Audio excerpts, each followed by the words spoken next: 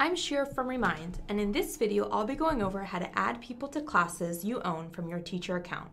To get started, select a class you own from the sidebar on the left.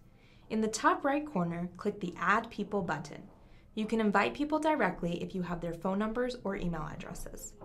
First, choose whether you're adding students, parents, or teachers to Remind. Then you can manually enter the necessary information or copy and paste from a spreadsheet. If you're copying and pasting from a spreadsheet, be sure to copy all the information that you need at once.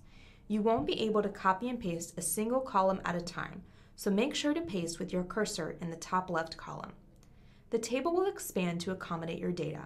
As a teacher, you can copy and paste up to 150 participants at one time and can repeat the process as many times as necessary. Once all your information is entered, click the Add People button to send invitations. Users will receive an invitation to the contact point you provided. Once the user has accepted the invitation, you'll see them appear in your people list for the class. That wraps up our video. Thanks for watching.